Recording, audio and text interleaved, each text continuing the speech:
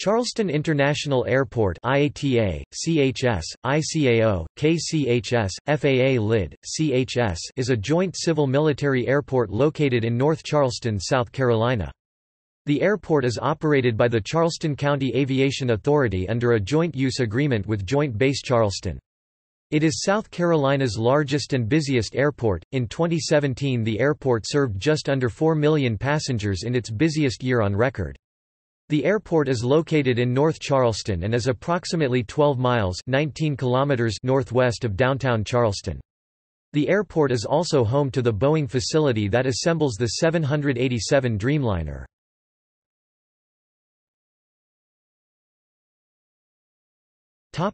History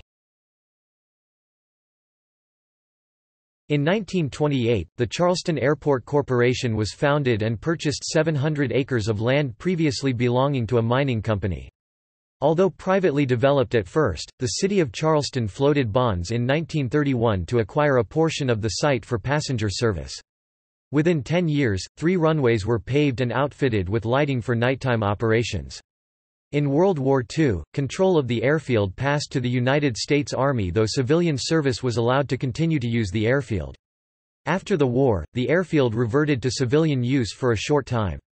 In 1949, a new passenger terminal was built. During the Korean War, the airfield was reactivated for military use and in 1952, the city of Charleston and the United States Air Force reached an agreement on control of the base and the runways, an arrangement that has been renegotiated over time and that continues to this day.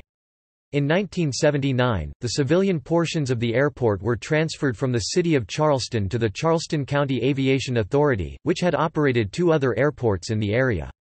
The current terminal on the south end of the airport was built in the 1980s on land acquired by Georgia Pacific.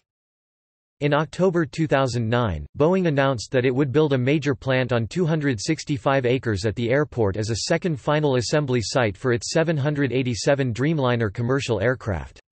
The facility began limited operations in July 2011 and rolled out its first completed aircraft in April 2012. Additional facilities to complement aircraft assembly have since been announced by the company. Throughout its history, all three domestic legacy carriers American Airlines, Delta Air Lines, and United Airlines and their predecessor companies or affiliates have served Charleston International Airport. Aside from the legacy carriers, Charleston has seen periods of additional air service from other carriers, but prior to 2010, those services were short-lived. The airport has had brief periods of international service.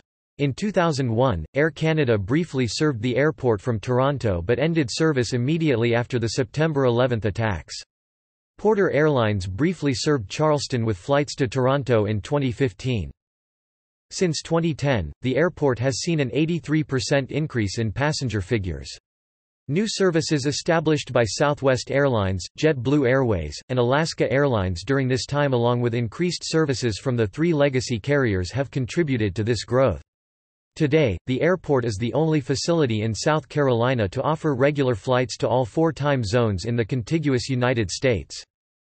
In October 2018, British Airways announced the commencement of a direct route from London Heathrow for the summer season, flying twice weekly beginning in April 2019.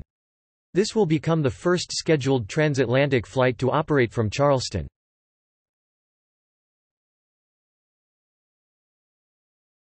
Topic: Facilities and aircraft.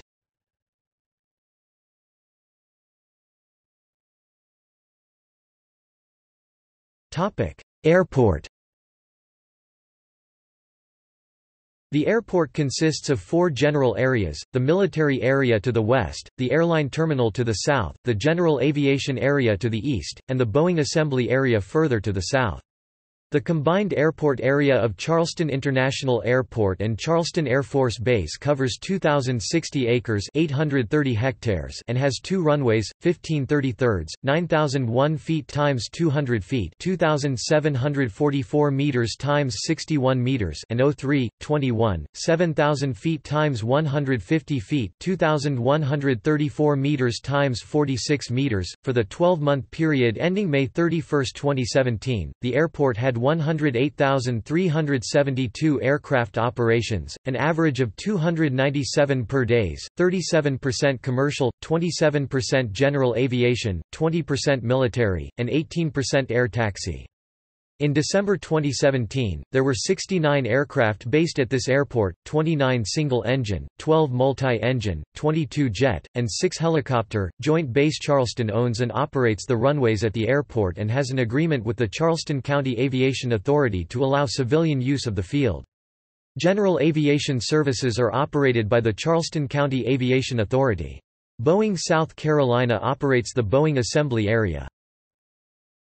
Topic passenger terminal The current airline terminal completed a three-year, $200 million redevelopment project in October 2016 which added five gates and significantly renovated the interior appearance of the facility. The original terminal was built in 1987 and was designed by Howard Needles Tammen and Bergendoff, Davis and Floyd, Inc., and Lucas and Stubbs. Both departures and arrivals are located on the same floor, with the departure area to the east end of the terminal and the arrival area to the west end. Flights depart from two concourses, Concourse A towards the east and Concourse B towards the west.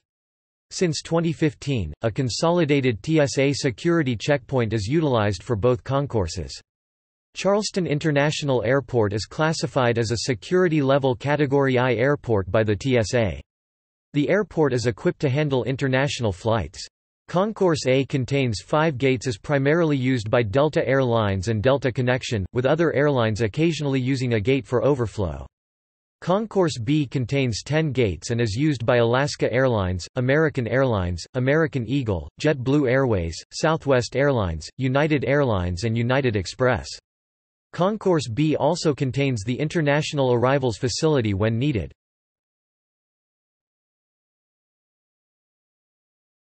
Topic: Airlines and destinations.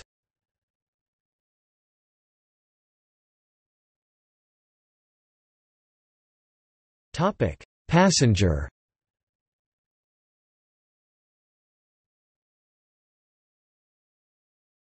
Topic: Cargo.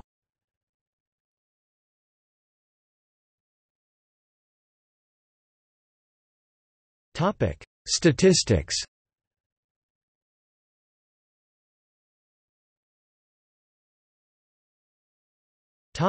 Airline market share.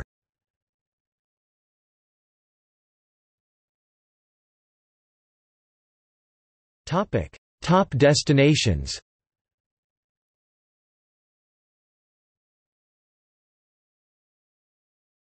Topic: Annual traffic.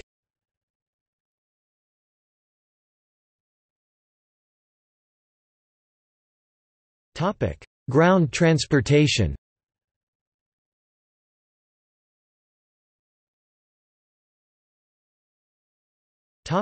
Road. Charleston International Airport is located near the interchange of Interstate 26 and Interstate 526 and is accessible from both interstates using International Boulevard and Montague Avenue exits. The airport does offer a free cell phone parking lot for passenger pickups. For short-term and long-term parking, the airport offers surface or garage parking for up to 30 days. Rental cars from major companies are available. The airport completed a rental car pavilion adjacent to the terminal in 2014.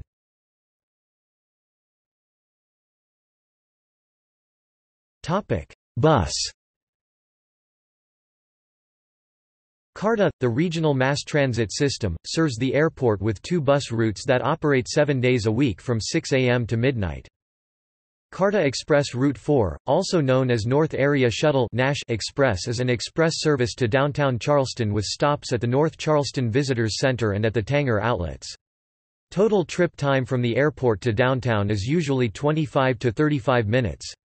As of 2017, a one-way fare is $3.50. CARTA Route 11 is a local service that connects the airport to downtown Charleston with several stops along Dorchester Road and Meeting Street in North Charleston. Total trip time from the airport to downtown is usually 50 to 55 minutes. As of 2017, a one-way fare is $1.75. Topic: Taxis Taxis and shuttles are available from CHS to Charleston and other destinations in the Lowcountry. Fixed rates are set by the Charleston County Aviation Authority for most major destinations.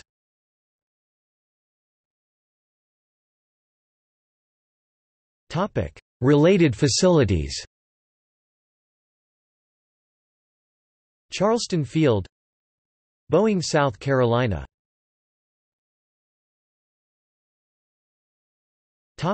Accidents and incidents On September 11, 1974, Eastern Airlines Flight 212, a flight originating in Charleston and headed to Chicago with a stopover in Charlotte, crashed on approach in dense fog conditions near Douglas Municipal Airport now Charlotte, Douglas International Airport. Of the 78 passengers and four crew members aboard the Douglas DC-9 aircraft, 72 were killed.